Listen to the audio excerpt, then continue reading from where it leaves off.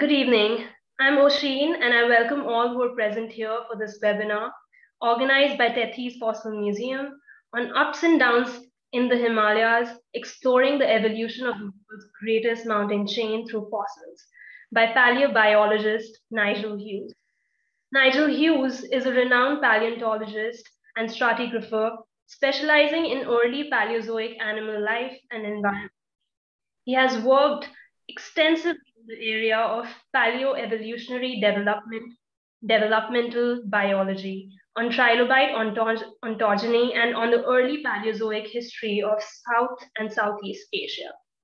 In his early days of exploration, Hughes walked through the Himalayan region from Nepal to Tibet, looking for trilobites that could help him reconstruct when and how these mountains formed. He completed his doctorate at the University of Bristol in England and was also involved in a refugee project dealing with displaced people in West Bengal, India, where he lived for a year. He serves as a professor of geology at the University of California, Riverside, and was the 2021 winner of the R.C. Moore Medal for Excellence in Paleontology. Present here with us is also Dr. Ritesh Arya, co-founder of Indian Geoparks and founder of Tethys Fossil Museum. He is a geologist known for finding water sources at multiple locations locations in the high altitudes. He was instrumental in providing water to 3,800 Tibetans who fled Tibet in 1959 following Chinese aggression. Since 1997, he worked with the Indian Army to provide potable water in Kargil, Dras, Siachen, Galwan, and many other locations in Ladakh, which made him a Guinness World Record holder. In 2010, his concept of Agni-Yodhra lava energy was adjudged the top 10 innovations by Guardian in World Future Energy Summit in Abu Dhabi. In 2014, he was appointed as the Director of Water and Geothermal Section at the Interna International Sustainable Energy Organization in Geneva. In 2020, he was appointed member of World Water Forum France to develop sustainable water solutions for rural areas.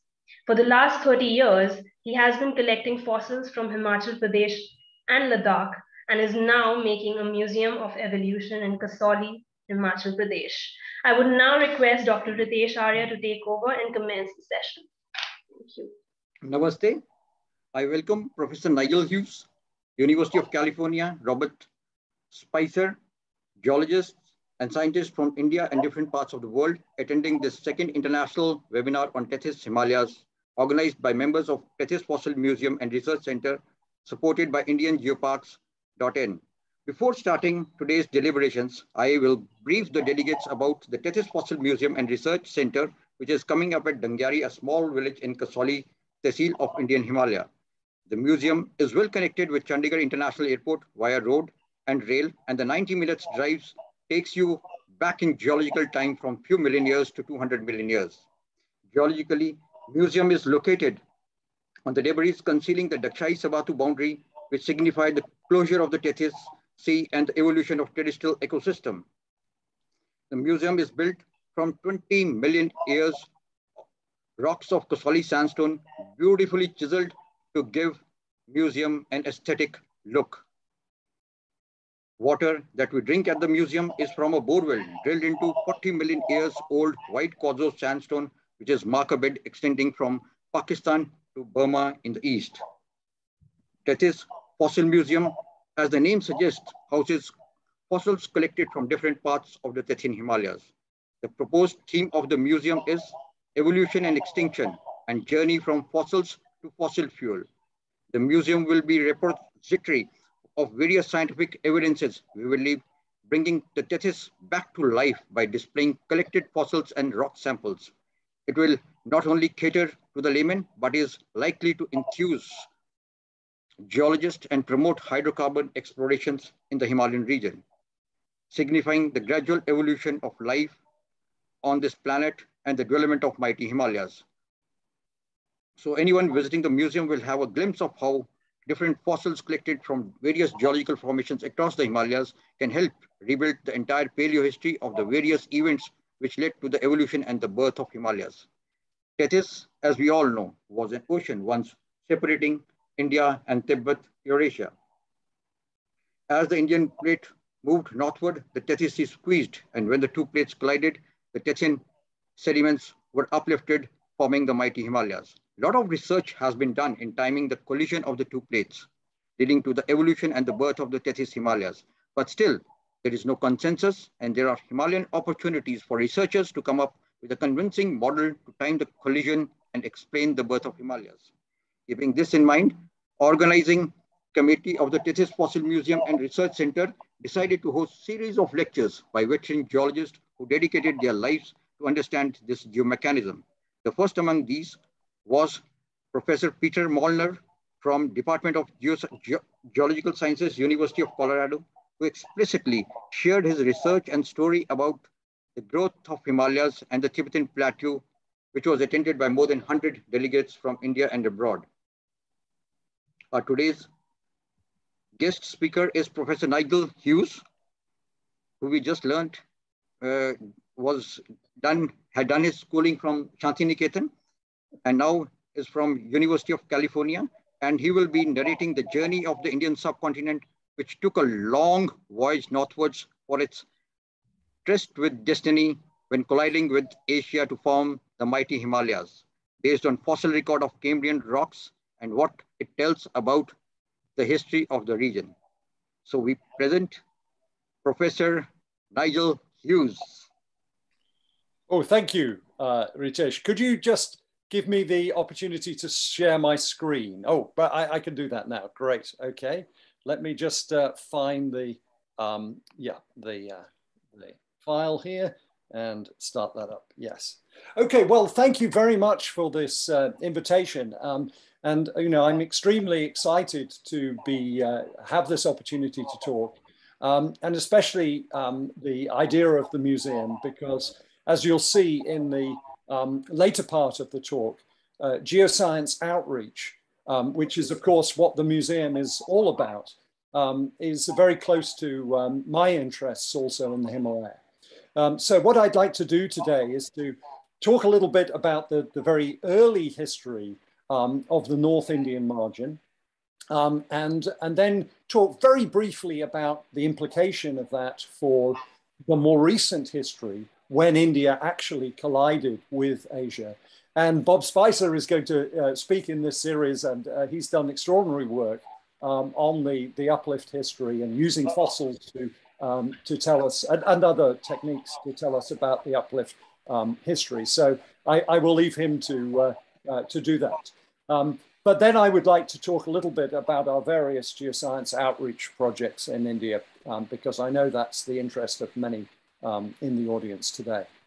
Um, so, of course, just uh, a, a, very brief uh, reminder that our planet is uh, very unusual um, in that uh, it uh, is an active place. Um, the uh, radioisotopic decay within the Earth is generating heat energy our planet is the, the right size um, to have this process of, of plate tectonics, which is really getting rid of that heat energy um, by cooling the Earth's surface down um, through the action of, of, plate tectonics and moving all this, this material about.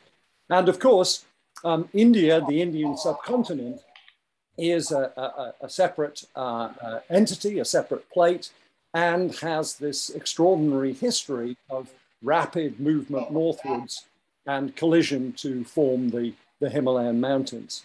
Um, and uh, uh, that is all, of course, related to this process of, just basically the Earth letting off steam, the Earth keeping itself cool, uh, primarily by having the uh, old cold seafloor sink down uh, uh, under the continents and and, and be heated up, and that um, cools the Earth um, and keeps the, the, the, Earth stable. Um, and of course, as uh, Ritesh uh, uh, mentioned there, um, the movement north of, of India, the most dramatic geological event, really, of a, a, broad tectonic scale um, in, in the Phanerozoic is India's breakneck uh, movement forward 20 centimeters a year at sometimes, eventually to collide to, uh, to form the Himalayan mountains. Um, but today I want to talk a little bit about the very early history um, of uh, India when it was part of the uh, continent, the supercontinent of Gondwana land.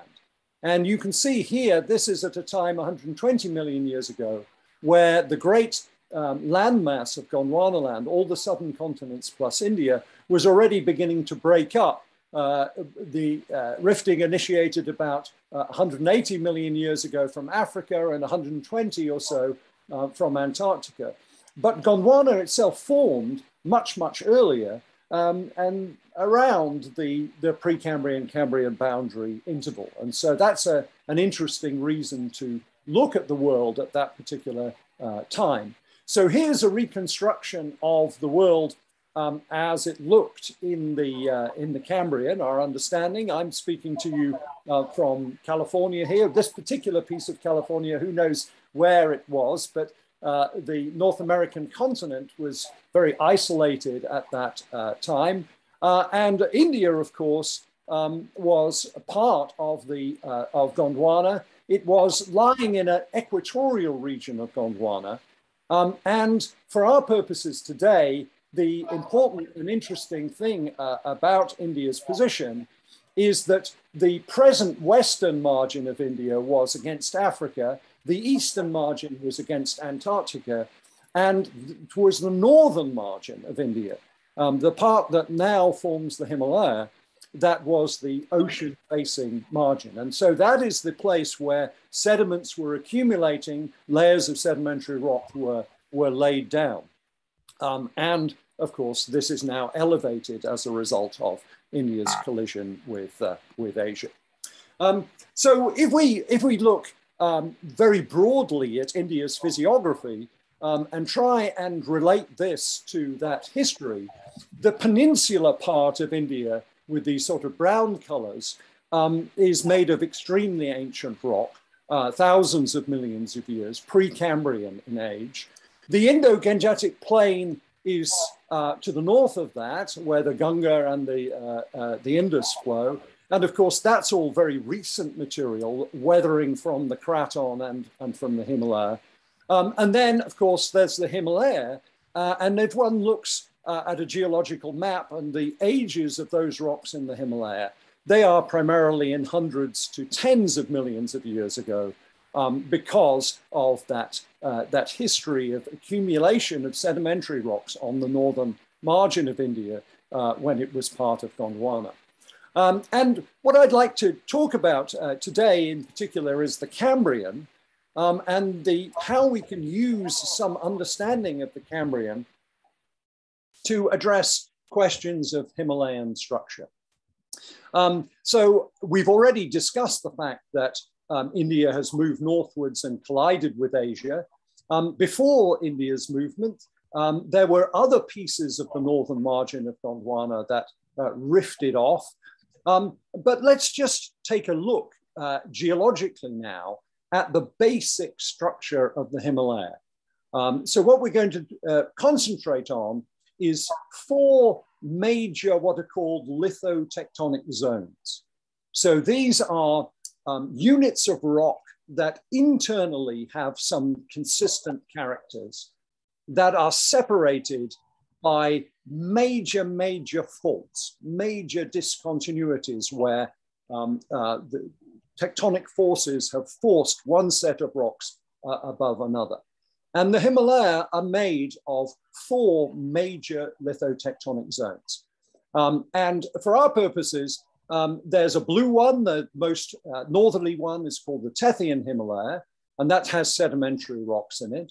Then we go across um, the South Tibet fault system into uh, the red zone, and these are very squashed and deformed rocks. Uh, originally sedimentary or some igneous, some from hot magma inje uh, injected into the Earth's crust, but very deformed and, and uh, uh, squashed during India's collision with Asia. Then to the south of the red zone, we go into uh, what's called the green zone or the lesser Himalaya, and that's back into layers of sedimentary rock, um, uh, hundreds of millions of years old and thousands of millions of years. And then into um, another, crossing all these faults into the Shivalik Hills, which are, of course, are very famous for uh, uh, your area, um, uh, Ritesh and Oshin. Um, but in, in Pakistan, um, do contain um, some older rocks. And then we're going to talk about uh, going further south onto the Craton of India itself and visit uh, uh, Dulmera, which is in Rajasthan. And these names that are in squares are places in which Cambrian rock is known.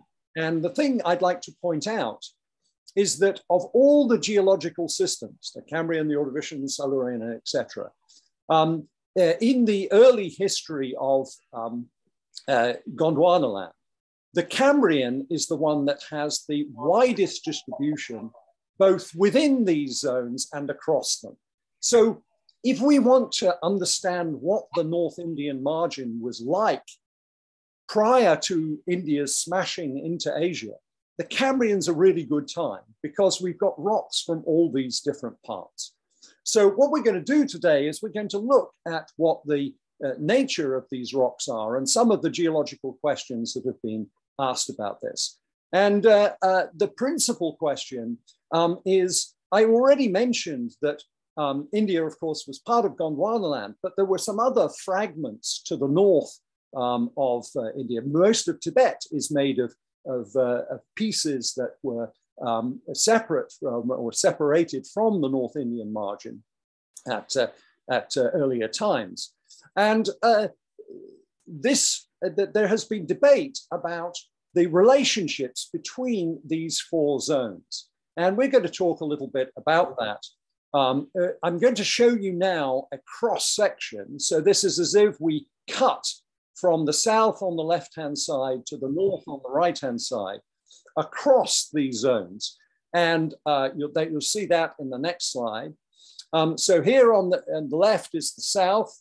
Um, these are the Cambrian rocks, uh, and Rajasthan. Then we've got the, the um, uh, the sub-Himalaya, the lesser Himalaya, um, and the red uh, greater Himalaya, and then what's called the Tethyan uh, Himalaya. And the point I want to make uh, uh, with this slide is to say that you can see that the um, boundary between the red zone, the greater Himalaya, and the, uh, uh, the green zone, the lesser Himalaya here, is shown as a fault, the main central thrust, but this continues down. And um, actually, in this model, the northern two uh, areas are part of a different piece of continental crust. They're, in this model, they're not Indian. They're uh, some kind of exotic material that's not really part of true original India.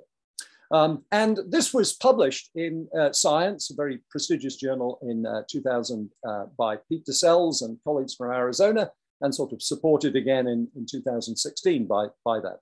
And uh, this is the, uh, the, uh, the, questions that we're going to look at um, and the data that we're going to look at in the next few slides pertains to uh, this argument. What was the argument for this fundamental division of the Himalaya? And how can we examine that argument? Notice that um, uh, not only is, is this uh, a separate piece of crust than India, but also that the blue rocks here are shown as sedimentary rocks deposited in layers on top of an ancient squeezed metamorphic basement. So this is what would be called a basement cover relationship. So um, we'll examine whether that uh, is uh, is correct too. Um, now let's talk briefly um, about what the evidence then um, for the DeCelles model actually was. And this this concerns um, what's called uh, detrital zircon uh, dating. So imagine that we went to the beach and um, uh, gathered some sand grains. Most of the grains would be uh, the mineral quartz, silica, but within uh, the sand, there would be very likely some grains of a very hard mineral called zircon. And zircon forms um, from uh, molten material injected into the Earth's crust in an igneous rock. Um, it's very, very hard. Um, it uh, receives a radioisotopic date when it forms. Um, and um, because it's very hard, zircons can withstand multiple times of being uplifted, eroded, washed down a mountain, um, uh, put back into the ocean, forming a sedimentary layer as a sandstone. That sandstone might itself be uplifted in another cycle. But because zircons are so hard, they resist uh, erosion um, and they can endure for multiple samples. So um, what we could do is we could go to the sand from the beach and collect the zircon grains, date their ages, and that would say something about the source material that is bringing the sand into the region. It obviously has to have sources that reflect the ages of those particular grains.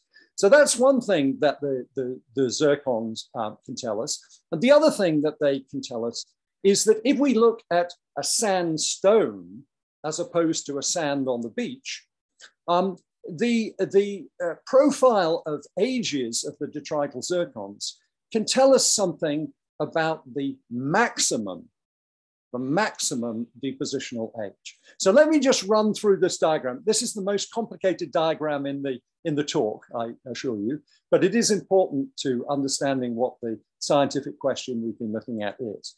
So um, what is this diagram? Um, on the uh, uh, axis along the bottom here is the age of the grains from um, 400 million years ago, 0.4 billion years ago, way back to 3.6 billion years ago.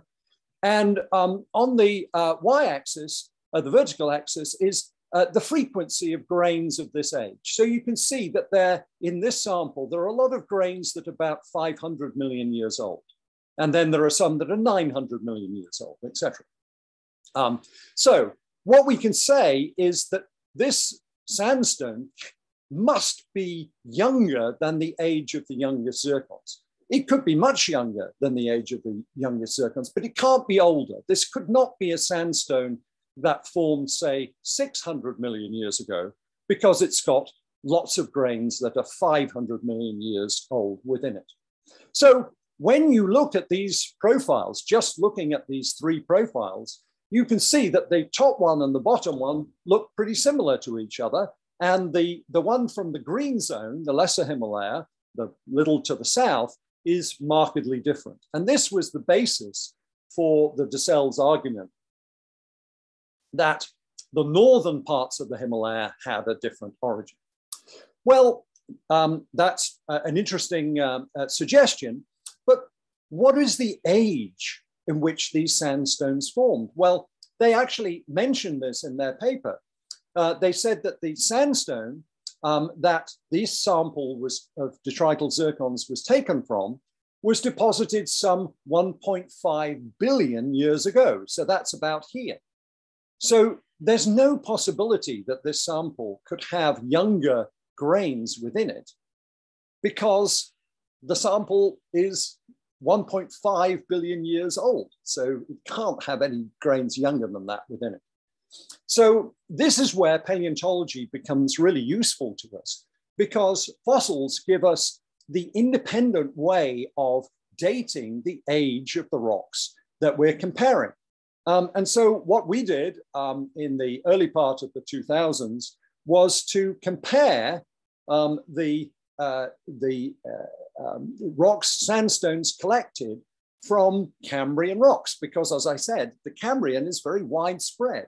And in fact, we have very good control even within the Cambrian. So we can compare rocks that were deposited within just a few million years of one another um, and see their zircon grains. And when we do, what you see, I think, is very obvious, and that is that within the green zone, Cambrian rocks have lots of young zircons, very much in the same way as the red zone has and the, the blue zone has. So um, in our view, then, um, this argument for a profound difference pertains to within the green zone and relates to the depositional age of the, of the rock. Well, of course, um, DeCelles and, and colleagues didn't quite like that idea, but we'll, we'll go on to discuss this a little bit, a little bit further. But now I'd like to get away from that technical part um, and just talk a little bit about the, um, the, the, the, experience of working in the Himalaya. So, of course, um, one of the first things that uh, one has to do uh, in a, a kind of study of this kind, trying to really understand the history of one particular unit of time to be able to interpret others, is to go back to the original collections that were made um, and uh, this is a, a, trilobite fossil that was collected by officers of the GSI um, in, the, in the 1980s. Um, we've used a computer here to try and what's called retro deform, because of course in the Himalaya, even in the blue zone and green zone where the sedimentary rocks are preserved, the fossils are still squashed. So this is what's called retro deformation, trying to restore the original shape. And you can see that perhaps that this isn't a very well preserved trilobite, but it is a trilobite, uh, Redlichia with the, the head region here and the segments. Um, and, uh, um, and we can compare this with other forms known from around the world. And so I, have had the privilege of spending a long time in the Geological Survey of India in Kolkata, um, uh, looking at fossils like that. This was an interesting story, at least interesting for us. Of course, um, uh, the, the, the, northern region, the blue zone, the Tethyan Himalaya, was um, uh, originally surveyed in uh, the 1890s, uh, late 1890s. And this was a fossil that was described um, as a, a, a, particular type of, of sponge. Um, and when I, I looked at this fossil, I thought, um, uh, that doesn't look like any kind of sponge that I've any knowledge of.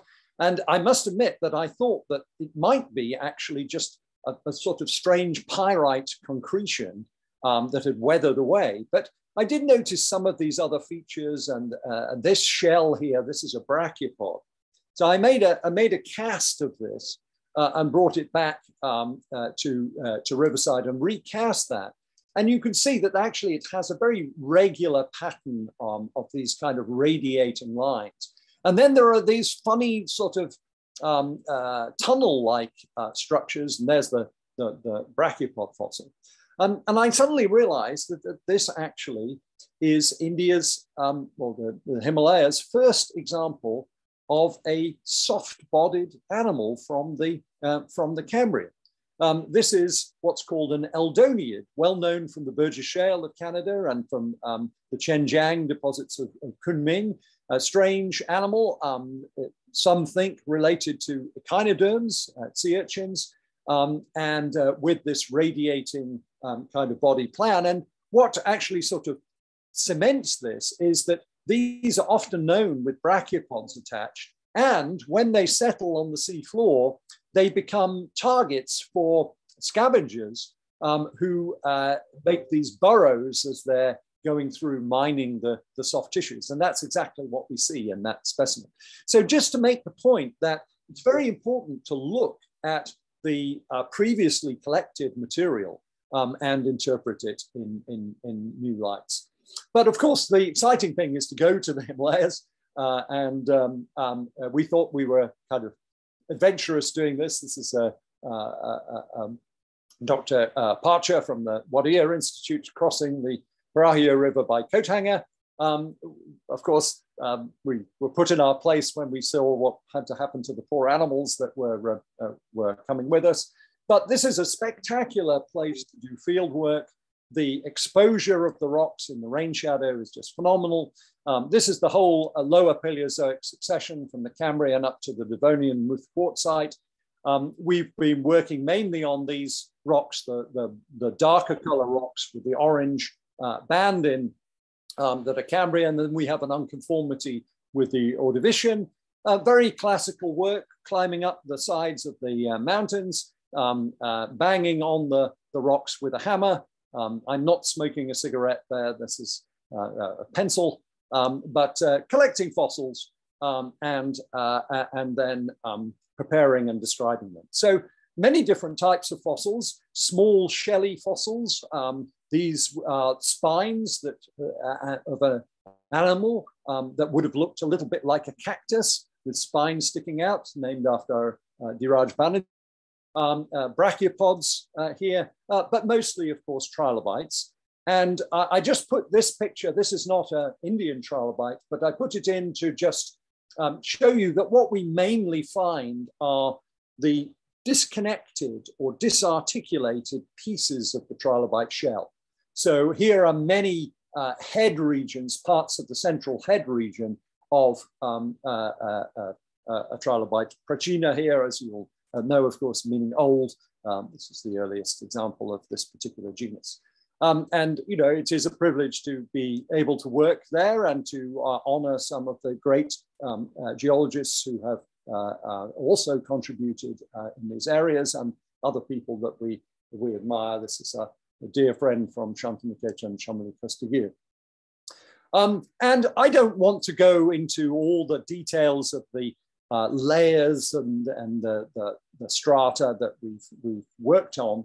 Um, but together with a revision of previously done work and our new work, we've been able to create a uh, stratigraphy of the Himalaya for the, the, the, Cambrian that can be correlated with that of other parts of, of the world with confidence now. Um, and I think that's, that's something that's been um, somewhat um, useful to be able to do. It's nice that India now has, a, a, a, for the Cambrian, a zonation that can be uh, compared around the world.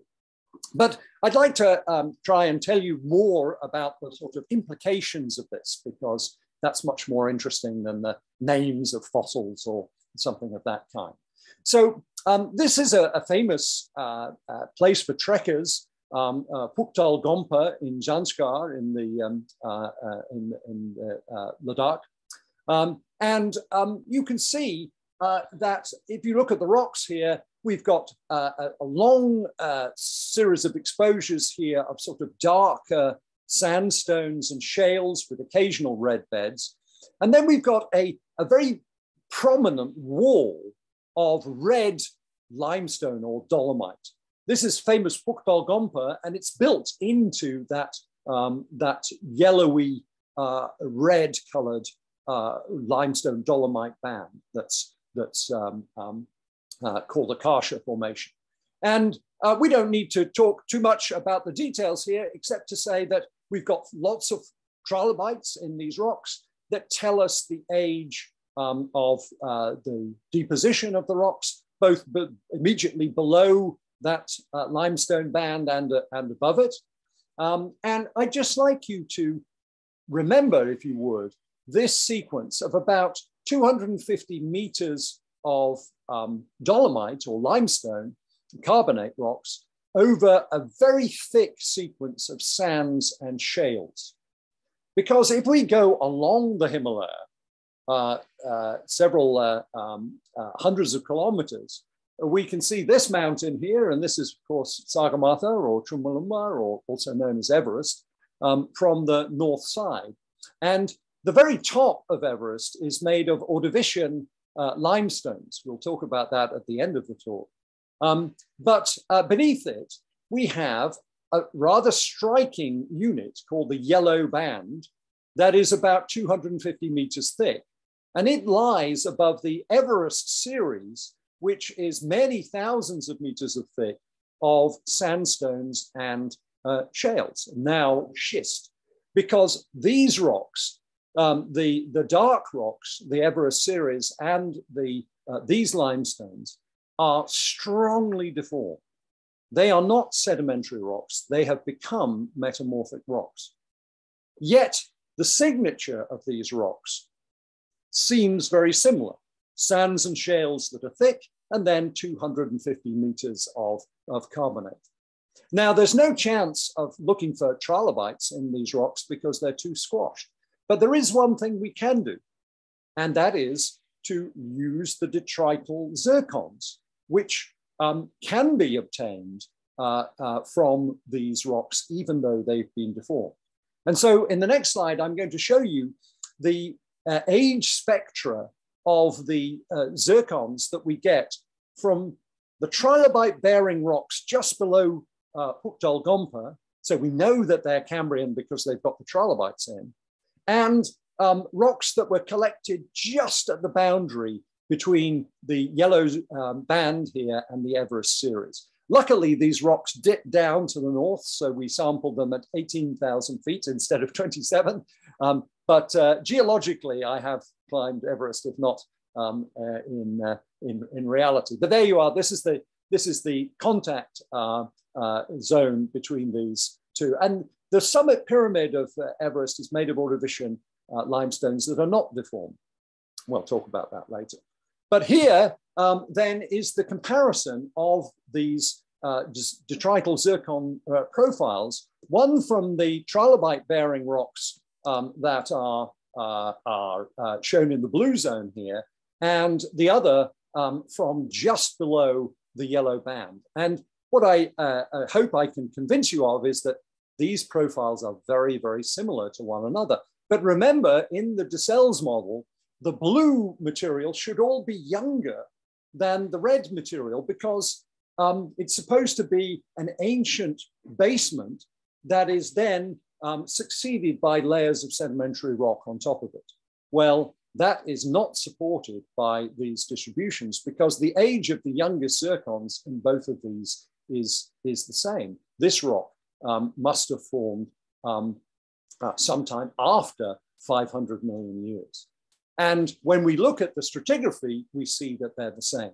It's just that basically the fault that separates the blue zone and the red zone has cut to a higher level in the rock series when we go further to the east. So that's um, uh, uh, uh, a difference of opinion then with the DeCelles model uh, uh, on that. Uh, and so that's our comparison then of the, the blue zone and the red zone we don't uh, accept this basement cover relationship. And now let's talk about the, these areas down here uh, and see uh, what their story uh, tells us. When uh, we do the same thing, go to places where there are Cambrian fossils, take samples of sandstones and look at um, the, the sedimentology, what they say about the depositional conditions, and also um, look at their detrital zircons. So now, very briefly, we're going to look at the, the uh, Lesser Himalaya, the green zone, the yellow zone, and then um, at the orange zone, which is south of the Himalayas on the, the Indian Shield itself. And the first thing I'd like to point out is that the rocks that are occurring in the south are thinner and they're near shore deposits, whereas those that occur further to the north are much thicker um, Cambrian succession um, and uh, deeper water uh, kind of situation. It's all relatively shallow, but we can clearly see that those that are on the Indian continent are shallower than those to the north. So this looks like what we would expect in a normal deepening margin that just gets a little bit deeper as we go to the north. And then when we look at the detrital zircon grain spectra, there are some differences.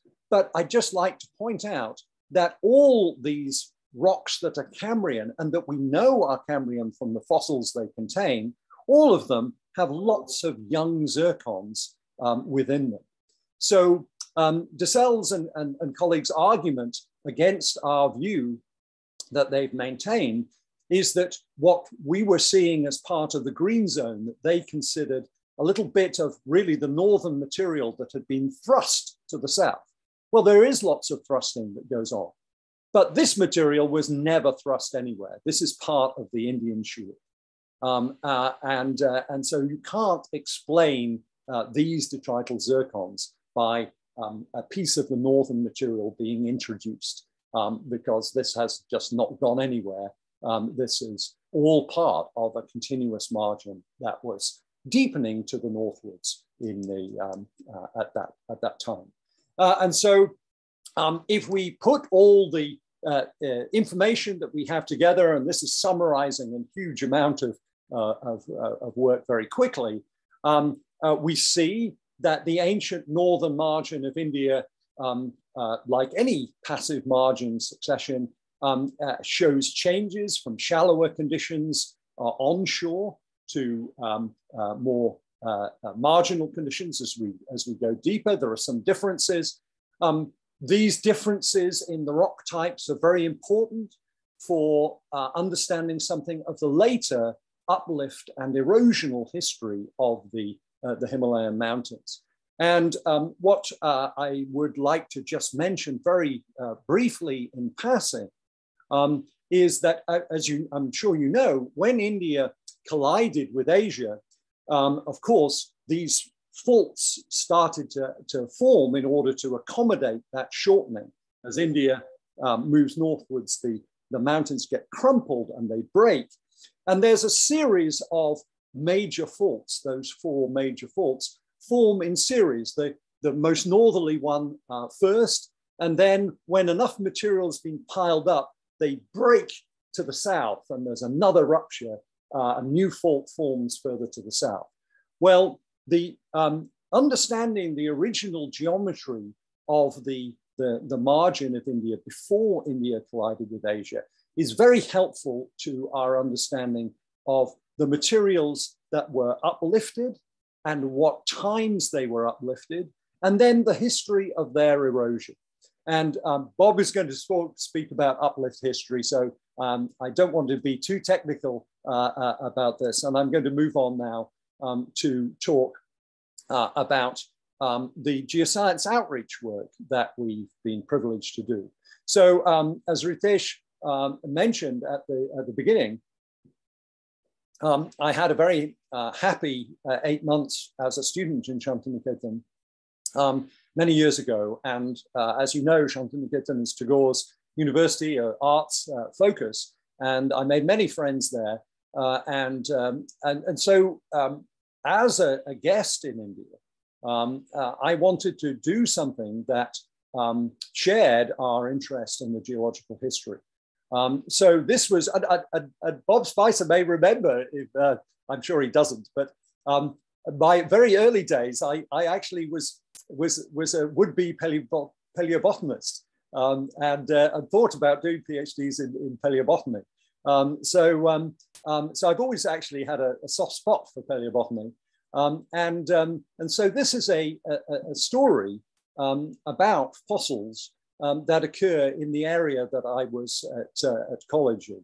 Um, so it's called Monisha Patorebon, Monisha and the Stone uh, Forest, because like many parts of India, India is very rich in this material, fossilized wood or petrified wood, or in Bengali, gach pator.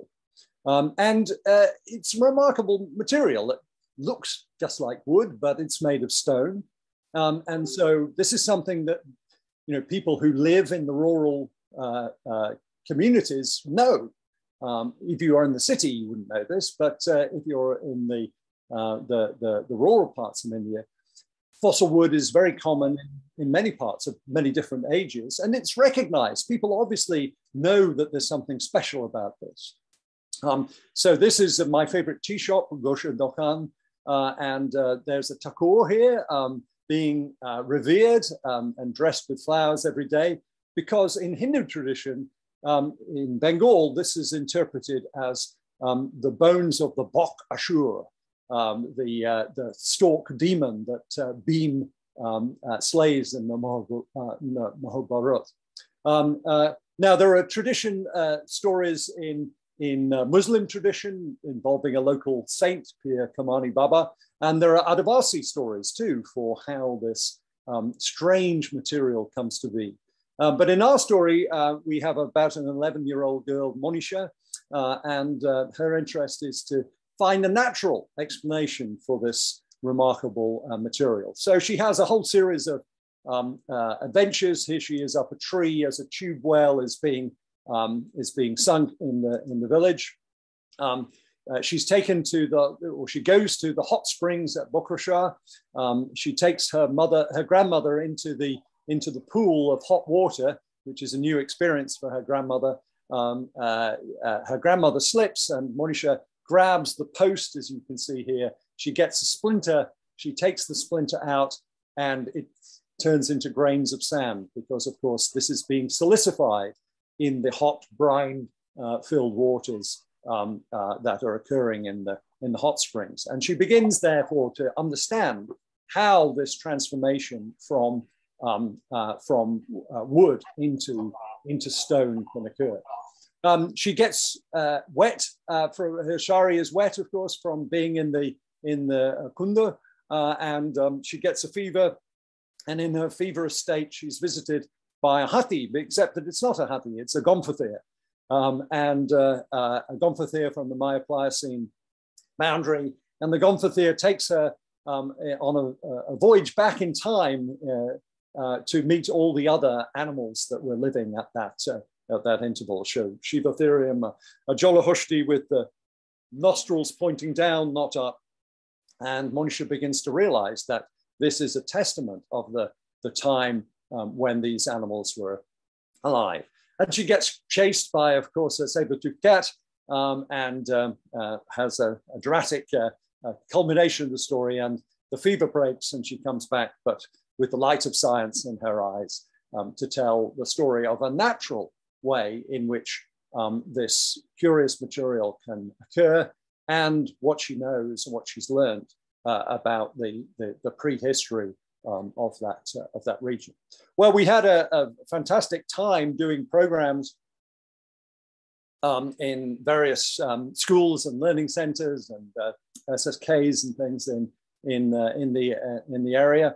Um, um uh, I was able to take two students from UCR, um, happily, um, uh, uh, two ladies here, happily, one was Muslim, one, one Hindu, talking here about the differences between modern elephants and the, the Gomphotheres. Um, it, you know, it's great for the children, of course, they're so wonderful in India, so engaged and fascinated, and you know, it's just pleasure to uh, interact. Um, we were very happy that uh, a, a, play was made of the um, of the uh, the story, and it toured quite widely. We were able to ship books uh, to Bangladesh too, so uh, there were programs done in, in both West Bengal and and um, uh, and and, and Bangladesh. Um, and uh, about a year later, we did a follow up um, to see what the impact of the book had been. Um, and wrote a paper about this in the Journal of Geoscience Education. And what we found um, was interesting to us. Um, that was that if the story was read to the children, they had no problem understanding. Um, but to read the story, even though literacy amongst uh, uh, males is, is 70, 70 2% or something um, in, in, in West Bengal and, and I think 67 um, amongst women. Um, the level of reading comprehension necessary to understand the story, even though it could be understood perfectly if read out loud, was, um, was a challenge. Um, and so that is what has uh, promoted um, our latest adventure, uh, and uh, this is a, a, a, an idea that is uh, um, well, I'm very pleased to say it's just made a big step forward yesterday. Um, uh, and this is to tell that story um, of India's migration northwards. Because I remember my first introduction to geology was a television program that I saw at a friend's house when I was about 10 years old. And it was an early um, representation, an early program on what was called the new global tectonics. And that was the idea, of course, that the Earth is made of plates and that the plates move around. And I remember clearly to this day a, a, a cartoon of India colliding with Asia to make the Himalaya. And that visual story is something that it's very easy to transmit, but it's, it's a magnificent story. It's a huge scale. It's the whole earth. Um, and yet it can be transmitted relatively simply in an animation. So as you can see here, we've already shown this picture of India's movement, you know, 20 centimeters a year at its fastest movement. Um, the, uh, uh, you can see this series of um, uh, reconstructions here. Imagine them as the sequence of, a, of shots in, a, in an animation. And so um, what we've had the idea to do is to tell the story of um, the migration of the Indian subcontinent, that magnificent story, um, through the various exciting fossil characters. And of course, because I'm, I'm a trilobite uh, specialist. We have to have trilobites.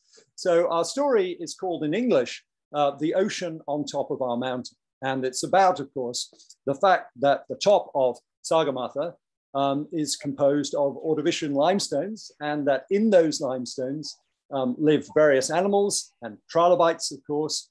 Uh, and so in our story, um, a, a, trilobite is collected by um, a climber, um, Captain Shipra Majumdar, who was one of the first Indian ladies to climb um, Sagarmatha. and um, given to a girl, a village girl. And we've had Monisha in the previous story. So this girl is called Nusrat. Uh, so uh, Gutishuti, who is the rolled up trilobite, unrolls and comes back to uh, life um, and uh, takes um, uh, Nusrat on a, on a journey um, uh, to visit other exciting members of India's fossil past as India migrates northwards. Um, so, of course, we have to talk about the wonderful dinosaurs in Madhya Pradesh, uh, and the all sorts of uh, uh, exciting stories of Rajasaurus and uh, Isisaurus and, and things that are, are, known in that part. And that is, of course, during the time when India was um, isolated and moving northwards as, it, as it progressed on its journey.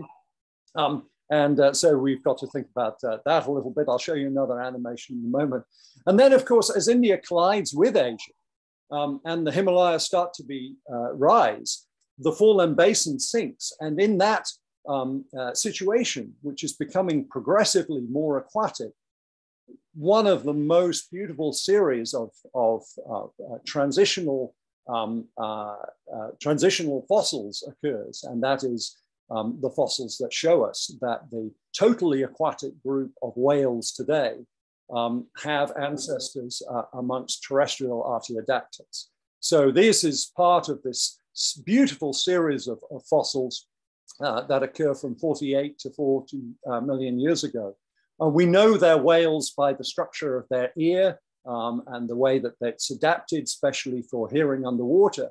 But of course, no whale uh, today has uh, terrestrially adapted legs like this. None of them have um, the astragalus bone, that tells us um, that the animals which we know are whales from their ears um, were originally artiodactyl ungulates um, uh, related to deer and, and pigs and, and, those kinds of, of, animals. And we see, of course, this, this fabulous series of, of transition. We even see the genes that are um, still present uh, in, in dolphins uh, for making the bat legs, but they've been down regulated now because, of course, this is a totally uh, aquatic group.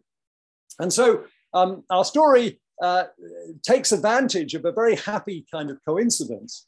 Um, uh, and that is um, um that, of course, um, uh, uh, the, the locations of these fossils that I've been mentioning to you just happily lie along the same lines as uh, um, magnificent poem, the Meghaduta. Uh, and as you know, in that, the, the Yaksha is uh, is separated from his lover who's in the Himalaya and asks the cloud to send a message of love um, uh, to, to her and describe all the places that the cloud passes over um, from, uh, from Madhya Pradesh uh, up uh, to the Himalaya. But it takes an interesting route. If you look at the route the, the cloud takes, it actually goes strongly to the northeast and then heads to the northwest. So it covers all these these uh, these places. And and so in our story, Nusrat and uh, um, and Gutishuti travel on a cloud and look down on the various fossils that are occurring um, in these these regions. They look down so they don't interfere with what's going on. Um, but of course, in our story, it's it's uh, it's not the cloud that's the messenger. It's India. It's the subcontinent of India moving, as Ritesh said, northwards for its tryst with destiny to form the Himalaya and um, create the greatest mountain uh, chain in, uh, on, on, the earth. Um, so, uh, uh, so that's the, the story that we're happy, hoping to tell. So just like um, uh, Kalidas would have written in Talpata Lipi, um, the, the layers of each Talpata telling uh, the story of the, the. So the, the rock layers of India tell us the, the real story of the the, the subcontinent's origin, a story that can be shared by everybody uh, from the subcontinent and even uh, Bideshis too uh, can uh, take pleasure in this, in this incredibly dramatic and exciting uh, uh, um, history. So um, we, we, we have produced, and I'm going to show you um, what's called a teaser for this, this series. And yesterday, um, I'm very happy to say that we heard that we have been um, generously uh, funded by the, uh, um, the AAPG, the American Association of Petroleum Geologists, who, um, which will help us greatly in making a series of 10 um, uh, times 10 minute um, videos telling the, uh, the story that in English will be called uh, um, The Ocean on Top of Our Mountain. But we intend to make it in, in Hindi, Urdu, and uh, Bengali, and hopefully also South Indian uh, language too. And I'm just going to close with showing you the, the teaser. Um, this is done by incredibly talented uh, people, Shekhar Mukherjee at the um, National Institute of Design of Vijayawada, uh, and Trisha Banerjee in particular, um, who uh, runs Drishtikon uh, Art House. Um, I should say that this um, teaser is very much aimed at trying to get funding to make this, and so it is a little bit um, uh, westernized. We would like to make this a Deshi, uh, have many Deshi touches to this. Um, we would like to use um, Indian music as well. Um, and um, uh, the, there are uh, one or two uh, geologically inaccurate things. The dinosaurs look rather North American. Um, and uh, uh, there's also a little bit of a tectonic issue at the end of it. And I should also say that I had no control over the size of which my name is shown um, in, in, in, this. Um, uh, this is very much a, a, an effort that we consider very much, um, you know, out of Rabindranath's legacy at Shantiniketan, artists and scientists coming together. We, you know, just like the, the, the museum, you know, there is this history that we as professionals are so fortunate to, to know of, but it's a history that every person from the subcontinent can be proud of. And and, and, and can share together. So um, here is the, uh, I hope it works, but here is the, the, the teaser for the ocean on top of our mountain.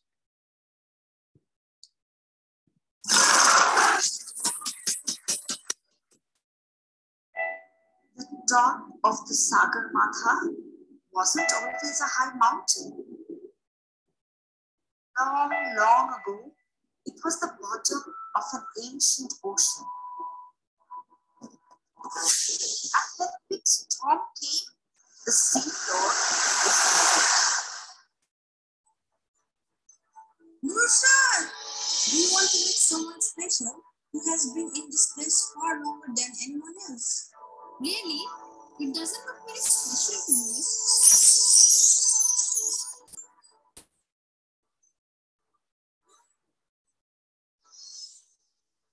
You think that these mountains have always been here, don't you, Nishra? Of course, they have. The Earth story is much longer than the story of all the people who have ever lived on it.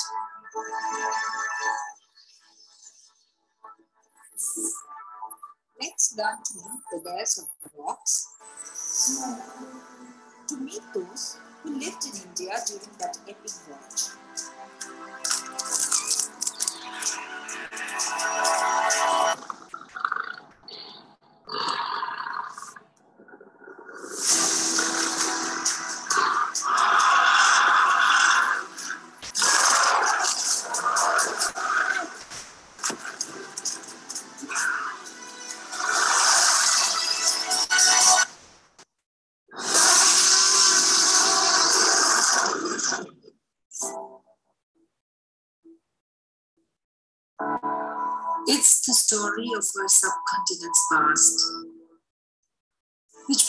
To each one of us.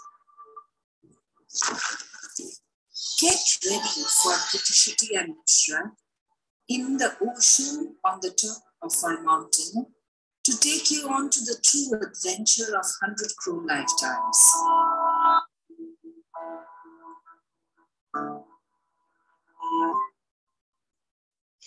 Well, there we go. Um, that is the, uh, uh, the end of my presentation. Um, and I'd be very happy to uh, try and answer any questions that uh, uh, anybody has. Thank you. Thank you, Nigel. It was just a wonderful presentation. I must say, uh, the way you have explained the Indian movement right from Cambrian times when it was part of Gondwana and how it moved with the with with the uh, tri uh, trilobites and the Cambrian fossils and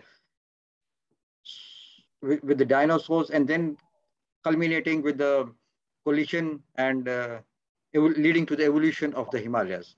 So in, in, the, in the entire talk, you had just mentioned about the Indian culture, your association with Shanti Niketan, and the best thing is you still continued that relationship now and have just worked out so well the last presentation of uh, yours uh, in the form of a video which says that if we can just make some small videos and popularize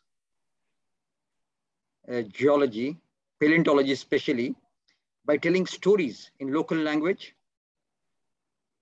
Uh, you made some comics, storylines, and then in those storylines, not only fossils, not only evolution was discussed, it was groundwater, mm -hmm. it was hot springs, the geothermal energy. So entire thing, you know, in totality, without uh, actually telling something so big word about geology and then confusing the student or the children, you have just tried, showed the way that how simple things can be told very simply to the children in a story manner and they use it every day in the vicinity and uh, everything works out so well. So, well, I, yeah. yeah. Yes. Well, I, I just, I just, you know, this idea of what is called place-based education, you know, mm-hmm. concentrating on um, places that people know, you know, things that they're that they're familiar with. Mm. And so when I decided to write that story, all I could write about was what, what I was familiar with. Mm-hmm. So these are the places that on my um, evenings I would go for a cycle ride into the villages of Bengal. And I had you know, friends in, in villages and baul singers and, and, and things. So, um, you know, I was privileged to get some connection. Um, and, and of course, if you can try to connect um, to the experience of, of local people. Um, you know, everybody's incredibly bright in India. It's, it's just a question of opportunity and, um, and, um, uh, and, and, and, sort of you know, um, outlook. Uh, so, so uh, this is, this is, I think, the key. Hmm. So this is this is like this is this is this has to be done, you know. And I'm glad that uh, when we were recording your session last time, you you were just not sure about the funds, and then we, we would have missed this video clipping. I. Well, I so uh, so now we are yeah. lucky that lucky that you uh, showed uh, you got the funds, and now the production is on, and everything works very well for the, for the we, children, we, you know, we, for the benefit benefit of the children. AAPG has generously given us uh, given us a, a, good start. It's not we don't have the whole funding yet, but um, they they will help us uh, uh, with this considerably. And um, you know, we are extremely grateful to them. And I should say that APG India has been you know important and uh, um, and other other uh, societies too. Um, so this is you know it, it, this is you know a story that everybody who's who loves the subcontinent you know should be excited about. And, uh, yes, and it's it's such a fascinating fascinating feast. You know, uh, moving from from the from the Gondwana land and uh, moving like an island, moving from the trilobites to the dinosaurs, how they evolved independently, and then uh, then they just collide and lead to the evolution of the Himalayas. And in between, we have the Deccan volcanism. So everything in place for a total megastar blockbuster. Uh, I, I, must say, uh, uh, video series. I think what what you're making. So I, I, I wish you all the best. Yeah. Well, thank you. I should just say to Oshin, sorry, this that, that red line. Um, I, I somebody else other than me created. Yeah, it. yeah, I so, understand because when Peter was also, that. Yeah, I, I, yeah. Sorry, I don't know, and I don't know how to get rid. We're trying to figure out how that happened. Uh, we apologize no, no to the viewers who, who, had like difficulties in understanding yeah. things, if at all it happened, but. We tried our best to kind of fix no, that. I think uh, someone has done it uh, intentionally. I think in Peter's Peter's talks also this was done, but that is uh, we'll try to figure out who has I done it, now.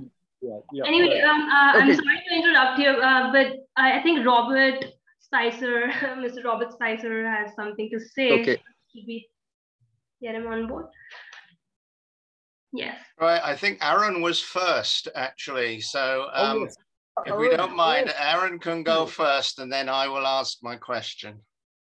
Uh, I'm a, no question. I just uh, feel very nostalgic uh, meeting Yes. uh, Nigel uh, digitally. Earlier, we used to meet in the field, Spiti Yes, and nice Missouri. Yeah, I say, but uh, it's a great uh, to see your experiments with the outreach, and uh, oh, it's a it's a lesson for those who believe that uh, paleontology is kept in the ivory towers and it need not go to down to the grassroots uh, schools and streets. In fact, the geological tragedy of India is that hardly 5% of the universities and colleges teach geology. And uh, most of the people, even in the universities, confuse between geology and zoology. Uh, and I believe no nation can become rich and affluent if it has a poor focus on earth sciences and environmental sciences. In fact, uh, I've been all the time talking my uh, outreach talks. I, in fact, uh, I have a YouTube channel, Earth Talks. I speak in Hindi largely. And uh, e- even today, 75 years after independence, uh, many colleagues, uh, they say, why you speak Hindi? I said, you cannot educate this big country without using local languages. I, I'm so happy that you used Bangla for talking to those kids and you tried to reach out to both the Bengals and you talked of other Indian languages. Uh, I'm sure if they did not listen to Indians, they'll listen to Nigel and keep on doing it. Uh, as you said, you're not uh, an Indian geologist, but you're a geologist from India. So welcome and uh, great. Keep it up. So happy to uh, hear you. Thank you. Thank you for saying that. I, you know, I, I do, uh, you know, um, feeling that I'm, you know, part of a community of people interested in Indian geology, you know, is, is very important. Um, and thank you, Arun. Yeah. Can we have Mr. Robert Spicer say something? Okay, thank you. Uh, Nigel, I enjoyed the talk very much. Um, I have a couple of comments and then a question. Yeah. Uh, first comment is um, it's not everybody who who shows Peter DeCelles to be wrong. So uh, well done on that front. That's quite an achievement. well, yes. As you know, Pete, Peter has got a, a huge uh, experience of working in the uh, the Himalaya Tibetan region. So um, yeah. Uh, no, and, and anyway, I, I, I, agree with you. Sorry. Sorry. Yeah. No, I should say, you know, um, yeah, ab- absolutely. Peter is a marvelous um, um, sort of you know, strat- stratigraphic tectonic geologist who's worked, you know, over many, many um, uh, uh, different origins and, and a lot in the Himalayas and done brilliant work. Um, and, and, and, you know, I have to say that, you know, having a controversy like this has been you know, wonderful for us because this is the sort of thing you can write a grant proposal about, um, and um, um, and uh, and so this this um, this controversy I think has been, you know, stimulating actually uh, um, for you know, learning learning more, but also for being able to you know get the resources to do that. So this is not, of course, a. well, what it what it shows nicely is that a combined approach of using fossils and other geological data is really essential for yeah. answering a lot of these questions. Um, and your your um, your reference back to the television program, I think it was in the early '60s, and I think I remember watching it as well. Um, I think it was Horizon. Horizon, yeah, yeah it's a re- that's it. Yeah. If yeah. anybody wants to to know any more about the early history of the thinking behind plate tectonics, there's an excellent book called "The Dark Side of the Earth" by Robert Muir Wood. Uh, it's quite old now, but it does go back into that his that early history, and it, it's excellent. The other thing about the, the talk that I really enjoyed um, relating to the outreach was that story about the hot springs. Uh, because I remember um, going all through the Himalaya and across Tibet in the Tatupani sampling uh, helium-3 to get the signatures of what was going on deep inside the earth. And uh, that was a, a, very fond memory. But my, my question is, you said when India collided with Eurasia, but you were very careful not to put a date on that. and I was wondering when you think that oh, time was. Yeah. Well, I, I, you know, fortunately, the the the um, um, uh, I'm going to punt on this question, of course, because it's um, because actually I really don't, you know, none of the work that I am involved in bears directly on on that issue. Um, what what the, the, just to sort of outline where I, um, you know, if this were a, a, a, a, talk where I was going in to try and talk more about the implications of the uplift, what um, uh, our, our work there is um, related really to events long after initial collision, um, but with the, the, the sequence of the breaking to the south faults and particularly the history of the main boundary thrust um, and the, the TONS thrust. And the, um, uh, our argument is, and I'll try and make this very brief, um, that there's a change, and you, I mean, now I'm on dangerous ground because this is your territory, uh, Bob, but there is a big change in osmium and strontium isotopes at 16 million years in the world's oceans. And, you know, when one looks for a you know, big signal like that? Is it something about global weathering or is it something, you know, uh, a local source um, that could have a global in influence? And of course, the Himalaya being at low latitude, um, uh, you know, enormous um, uh, erosion going into the oceans. But people don't really um, think about what happened tectonically 16 million years ago in the, in, in the Himalaya because the main boundary thrust seems to initiate at 11 million years and the main central thrust long before that. So there's nothing that happens at 16 million years that is terribly exciting, except that um, uh, uh, we, we would argue that, um, that the, the, there's, an, um, there's the TONS thrust uh, um, initiated at that. And this brought up um, to the surface um, the Cambrian Tal Formation, uh, which Arun has worked on uh, extensively in Dheeraj and people, which was full of radiogenic osmium. And so we've had a couple of papers that I have been peripherally involved in, um, but uh, uh have, have modeled um, if the Tal Formation was continuous across the Himalaya, as I think there's every reason to think it originally was, and it was uplifted, could uh, at that time, could that be the source of this enrichment of osmium, which occurs at that time. And, um, and the, the, the, modeling that we've done suggests that it, it, it could. Um, and the real point that I'd like to make about this is today there is just remnants of this Tal material in a few scattered places. But, um, uh, and so people don't pay any attention because as a source, it seems too minor but that's because it's been uplifted and eroded. you know, um, it's, it's, it's the stuff that's gone.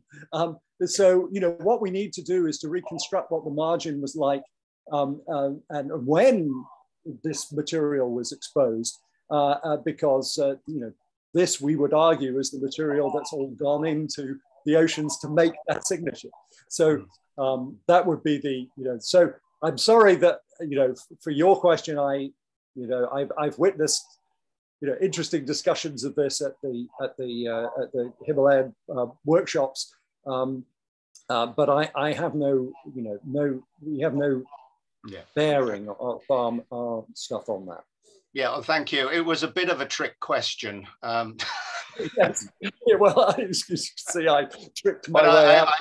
I, I, like the I like the osmium story very much, um, and uh, 1516 is very significant for me because I think that is when the height of the Himalaya as a significant barrier exceeded for the first time the height of the Gangdese, which sits hmm. immediately mm. to the north of the Himalaya.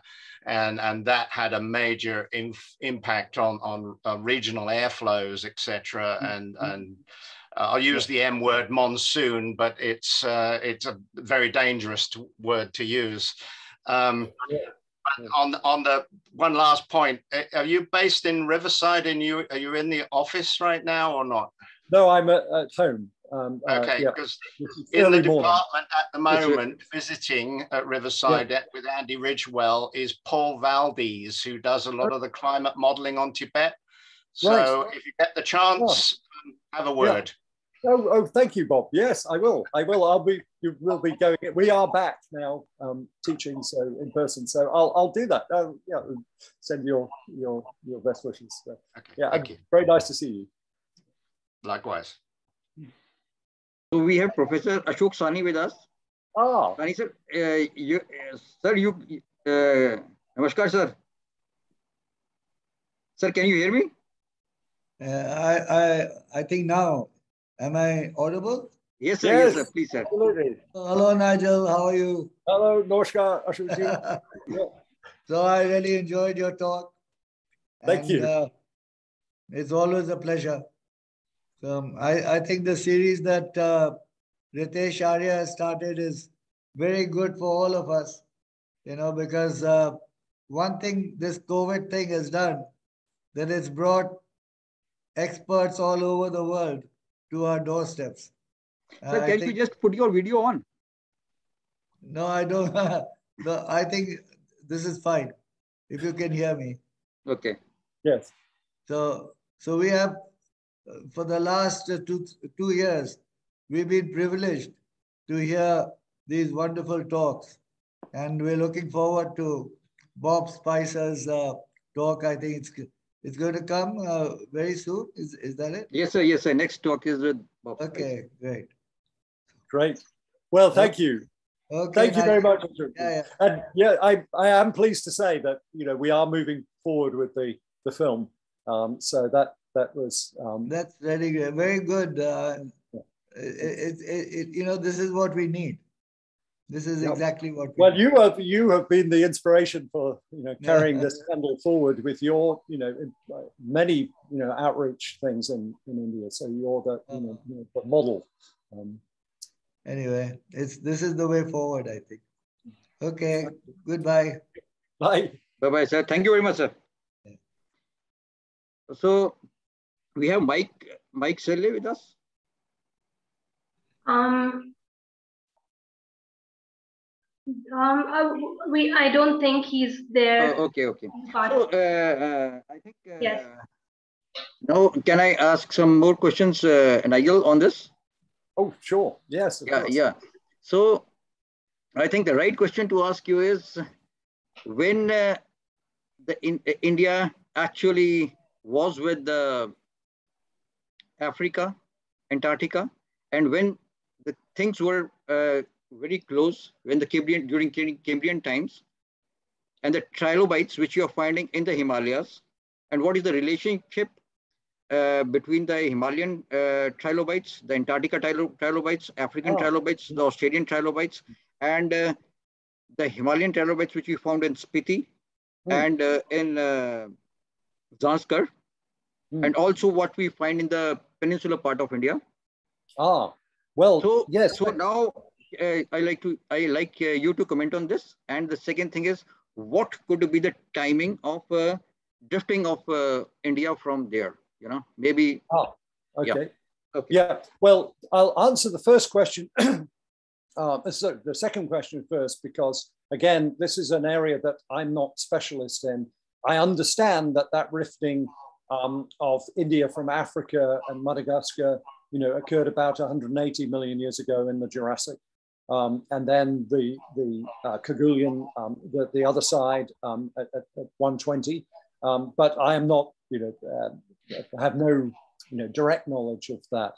Um, for the, for the, the, uh, the other question though about the Cambrian, yeah, um, you know, for a long time, um, even before plate tectonics, um, it was known that uh, uh, Cambrian trilobites, when mapped around the world, formed two major provinces. Uh, one called the uh, province and the other called the Redlichiid province. And the Redlichiid province was named um, for a trilobite um, that was uh, first described from the Salt Range. Um, uh, Redlichia noetlingi, after, um, uh, named after Noetling, who worked for the Geological Survey of India. Um, mm -hmm. So, um, so that is, you know, it is, it, it is that whole province turned out to be basically Gondwana. Um, it was not understood at that time to, uh, to be Gondwana, but the Redlichia trilobite province includes the Gondwanan um, uh, continents and some other peripheral regions like parts of China. Um, and I, I, should also say that, that um, so that's one you know, example of where the very early work that was done by the officers of the Geological Survey of India um, was, was some of the first work that was done in the southern continents and, and uh, the Gondwanan continents. Um, another very important thing, and this is something that uh, Birendra Singh and, and, and colleagues in, in Chandigarh and uh, others and, and uh, have worked on, are working on, um, is you know, that the, the, the, formal base for the third series of the Cambrian system is now based on the first occurrence of Oryctocephalus indicus, um, which was first described um, uh, from the Himalaya by Reed in, in 1910 um, from Hayden's collections. And so an Indian fossil um, has you know, the, the honor of, of being uh, the, the official designator of the base of the third series of the, of the, of the Cambrian system. Just recently, um, was chosen. Um, so these, you know, the, the, the, this, um, this early history of the of work in um, the, the uh, Indian subcontinent is, um, you know, is, is an important part of that, uh, that tradition. And you're absolutely right that um, these, there are shared fossils um, that uh, uh, indicate the connectiveness of those uh, areas. And even more interestingly, you know, show connections to um, other parts of the world, like the various pieces of China um, and uh, Sibumasu, for example, you know, what now makes up Thailand and, and Myanmar um, and parts of, uh, Baoshan in China. So, um, so the, the, the, the, fossil heritage is very important, especially when combined with other geological knowledge like the zircons. Mm-hmm. Oh, so now, now we are again, uh, we can't ask you much questions on uh, uh, as Robert Spicer has already asked you, what is your opinion on uh, the timing of the collision? But interestingly, you have uh, actually the museum, the concept of museum which we are trying to build is also museum of evolution. Mm. And uh, we have got a lot of uh, stromatolites, Ediacara, trilobites, fossils, and um, uh, we have got some very interesting yeah, as you mentioned from Rahioli, we got some dinosaurs. Hmm.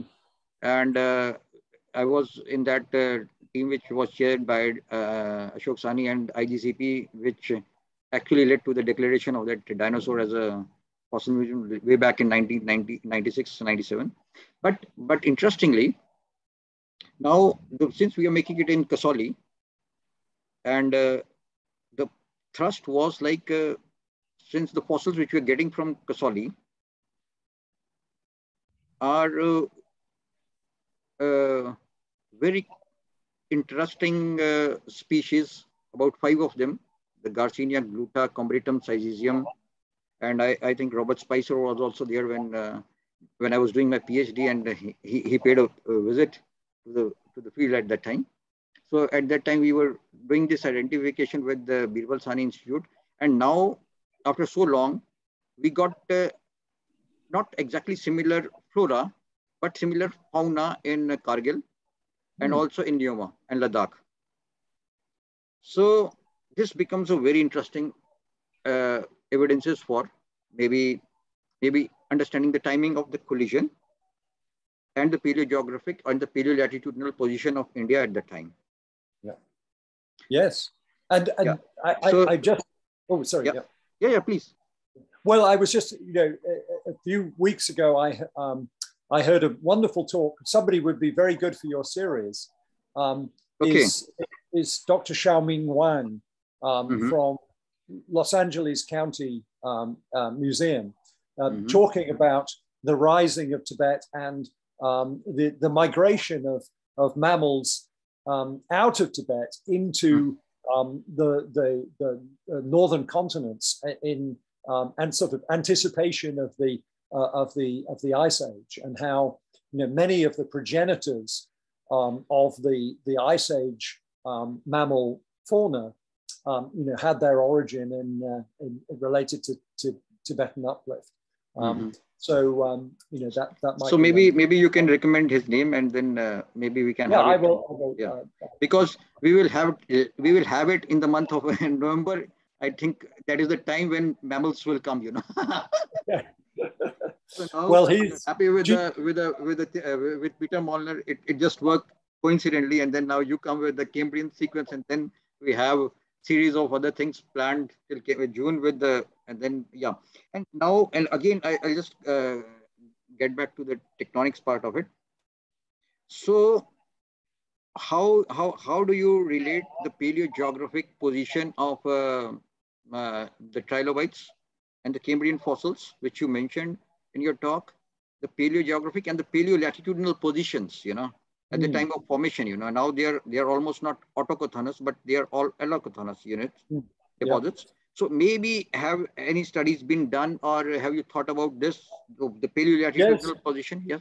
Yeah, that, yeah, that, so yeah, so that's a very interesting um, question. And, you know, just as today, um, different animals and plants have different sort of controls on their distribution. Um, in, in the Cambrian, amongst um, the trilobite faunas and the other you know, brachiopods and small shellies and other things. Um, there are you know, very interesting uh, patterns that um, uh, relate to particular morphologies. So for example, there are some trilobites which seem to be able to cross ocean basins quite easily. Um, but on the other hand, were restricted to warmer waters or equatorial waters. So you know, we, we find some trilobites in the Himalaya, which we find, um, you know, quite widely around the world, but only in continents that um, were, uh, were equatorial. So presumably these things had long larval stages. They were able to migrate across oceans, but they were not tolerant of colder water. Um, on the other hand, there are some species which occur right the way around the Gondwana margin. And when I showed you the picture of the Cambrian world, um, yep. Gondwana land is kind of smeared out because, um, of course, Gondwana was at equatorial levels in India uh, and Australia, um, but uh, at, at, high southern latitudes. Um, and so, of course, just as today there are different faunas living at different latitudes, um, uh, so too in the Cambrian. But there are also some, um, some trilobite species that were quite good at tolerating a wide range of, of temperature conditions. Um, maybe they were not good at getting across open ocean basins, but they were able to follow the margin of Gondwana land around. And so this is really wonderful because these different attributes allow us to correlate when yes. we find different yes. trilobites together. So, we can we can we can tie you know through yeah. an intermediate place two things that we didn't know before. So that's a very, you know, a, a power of the of the skeletonized fossil record. Mm-hmm. Yeah. Uh, yeah, that's that's very interesting. So, you know, last time also I asked the same question. Now, now if we if they are now uh, the equatorial conditions, you know, you said that most of them, majority of them are the equatorial, and then maybe the at that time yes, it, it suits, you know, because of the uh, recent researches being done uh, on uh, uh the paleomagnetic studies and the patterns by MIT and uh, and some Nainital and some uh, researchers from Nainital. So they have come up with very interesting results. And then the Khardungla volcanics and all, they are shifting it back to the equator. And then my findings of these uh, species which I mentioned, they are not uh, any not any way related, or we don't find any evidences in um, in Himalayas, but they are more confined to the Andaman Nicobar Islands, Malaysia, and uh, and uh, Indonesia. Mm. So the Kasauli also going back to equator, the Khardungla also going back to equator, and the Zanskar and the Spiti fossils also going back to equator. Mm. So so that that brings us to very interesting uh, conclusions. You know, maybe about the timing of uh, yes, as you rightly said, wonderful talk. But but these Precambrian fossils also tell us that at one point of time maybe they were on on the Gondwana margins. You know, maybe. maybe what is your uh, talk uh, say on this? You know, what do you? Well, I, I certainly yeah I I do um, think that there's you know good evidence from the stratigraphy that that uh, you know uh, the Himalaya was you know part of the North Indian margin. Um, that uh, you know uh, the, I, I think you know that's a conclusion that I think our work warrants. Um, mm. and so and and yes, the you know the comparisons um, of the fauna, the closest uh, uh, associations are with um, Australia, but even closer associations actually with North and South China, the the two major blocks of China. China's made of nine different pieces, at least nine different pieces, but the main blocks of China are so, north. So uh, China, now again, I will just say which part of China, the Tibetan part of China, or you are talking about the original China? Oh, well, I'm talking occupied, about Tibetan yeah. occupied China. Um, or, uh, so I maybe I, we can we can just try to yeah. understand because yeah. China becomes you know the whole thing. Well, I'm, I, I, yeah, I'm not talking about uh, the the different parts of Tibet, although they have a very interesting history. Um, okay. The Lhasa block and the Qiangtang and and, and uh, Kunlun, etc. I'm talking really about you know what is the major blocks of what are called North China and South China. So these okay. are today's uh, geographic blocks of of the, the, the, southern provinces and the northern provinces. And they were certainly separate in the Cambrian. Um, and um, there was a paper published in Geology last year, which um, I reviewed but disagreed with, um, that placed North China, for example, um, as an island continent between North America, Laurentia as it was called, um, the North American continent, and Gondwana at that time. I, I, don't agree with that, but I do think that there were connections um, in, in, mm. uh, in, the fauna. And so, you know, this is this wonderful sort of jigsaw puzzle of, of with moving pieces that change their shapes um, uh, uh, through time um, of, of, trying to establish these relationships. And I, you know, as Bob has shown, uh, you know, the, the, the wonderful thing about fossils is that they have a, a little bit of independence from other sorts of geological data. You know, so much of geological data is, is sort of bound up with how you interpret, say, a, a tectonic system, say a, uh, um, a collisional belt or you know, an origin. We, you know, we interpret the geological data in terms of that, the understanding of how those processes work. Um, you know, fossils are a little bit independent of that. And so we can look at their, their distributions in a way to test um, uh, reconstructions that are based on kind of integrations of other sorts of geological data. So I think that paleontology has a, you know, a wonderful, um, unique perspective on this. Um, and I think it's also a tremendous opportunity for Deshi scientists because um, you know, it takes a long time to find fossils and to yes, I, I, good specimens and and um, and you know to travel up to some of these remoter places, and and most of us who are privileged to visit, uh, you know, uh, can't spend that long a period and and and you know only see a relatively small uh, you know amount of material. So this is these are really you know although paleontology is a you know, considered in some ways a very traditional field, it is um, it's a very powerful field for contributing to other areas of geology. And, and this is where you know I think that local geologists can really make a, a strong contribution. Yeah, very true. I, I, and I remember when I was a, a, a university uh, geology student in first year, I was fascinated by Medlicott I belonged mm. to hmm. Kasauli, so he had collected the first fossils from Kasauli. And then it took me around one year, you know, to get hold of fossils.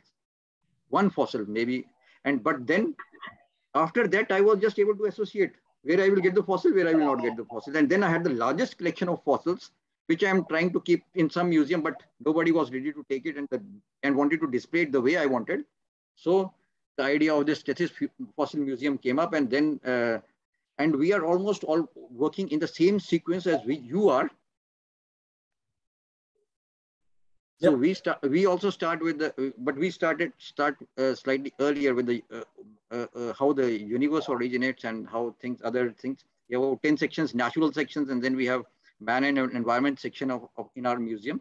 So it's coming up in a in a very systematic way, and Oshin is um, having a tough time figuring out how to just uh, draw all these uh, things, you know, in a in a in a very very interesting way. So that we Were are keeping this, we are keeping this at the museum, so that anybody who's about uh, uh, studying in fourth or fifth class, with a 20 25 minutes uh, of uh, you know walk through the museum, he, he understands what is evolution, how everything evolved how how the Himalayas were formed, how how the how we use fossils to do various things. The Alfred Wegener's, we have Suess, we have Medlicott, we have Charles Darwin. We have we are dedicating it to Charles Darwin and uh, Mendel. So everything, you know, the science, the local, and how how they can just figure out everything, you know. And I like the concept of the comics, you know, uh, in a very simple way with the local dialect, you know. How how we can just. Robert Spicer has something to say too. Okay. okay, okay. Could I just ask, Oshin, were those your reconstructions that were shown at the beginning? Because uh, uh, uh, Ritesh showed some some reconstructions of the Cambrian seafloor, or right? Those, did you draw those? Uh, they haven't been drawn by me yet, but they will be drawn. They will be. Okay, great. In, in time. Yeah. So you will be seeing a lot so, of art. So we are also looking for uh, looking that someone. Uh, uh, sorry, sorry. Uh, you can just uh, take up. Well, yeah, yeah. please take take it on. Ah.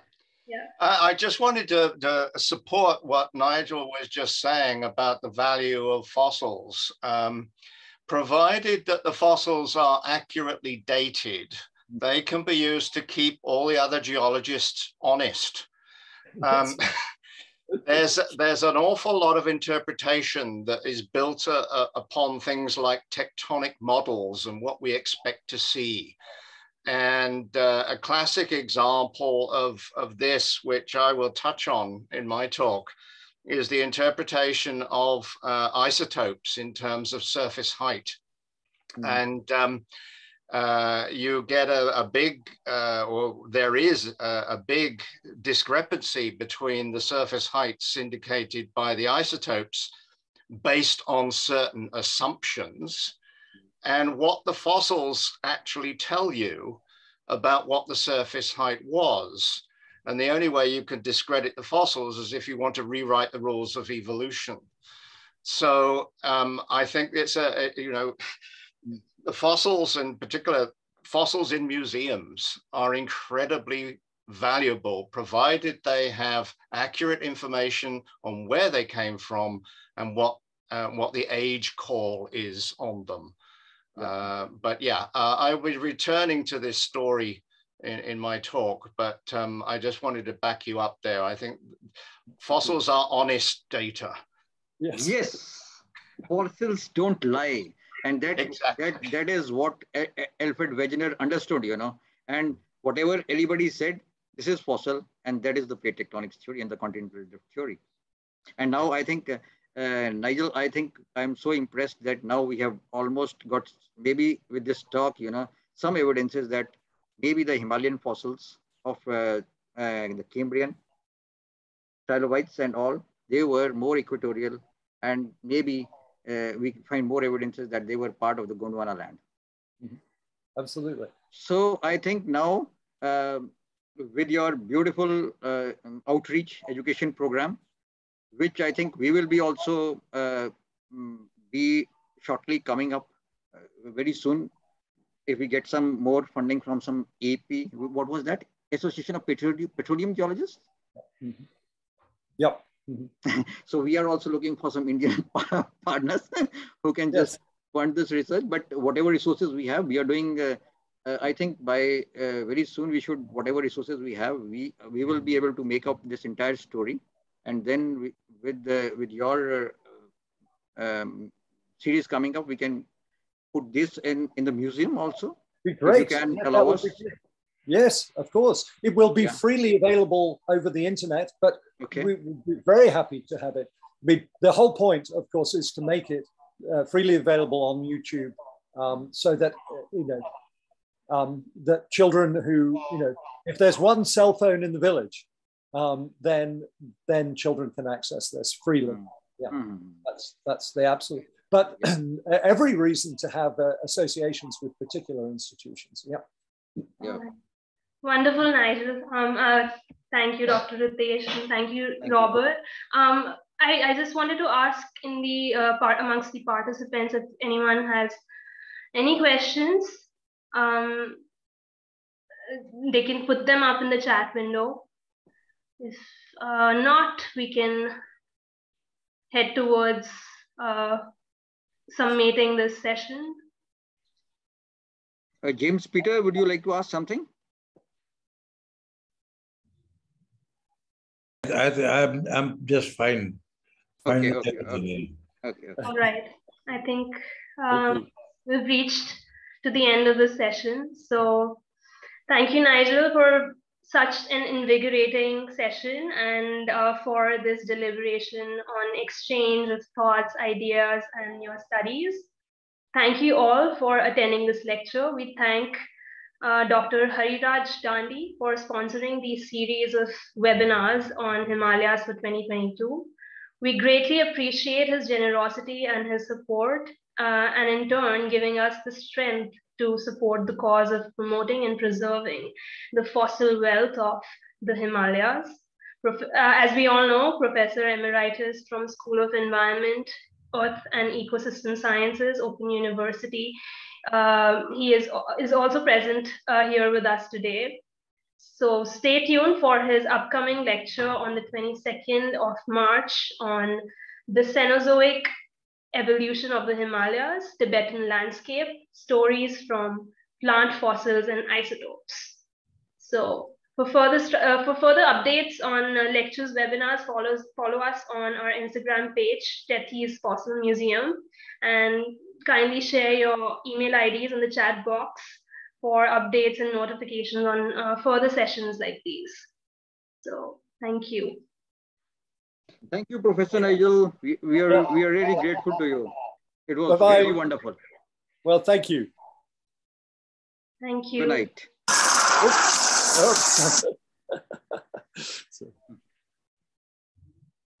very good presentation. Thank you. Thank, thank you. you. Okay, thank you. All right. Bye bye. Bye bye. Bye bye. Okay, bye. Good night. so, so it was good, huh? Uh, we request uh, everyone to send in their email IDs in the chat window if they can, if uh, so we can update you on our further sessions. Thank you.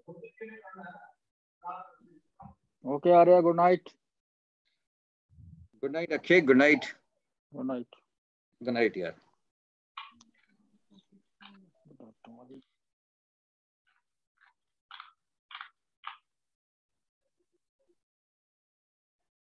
Okay.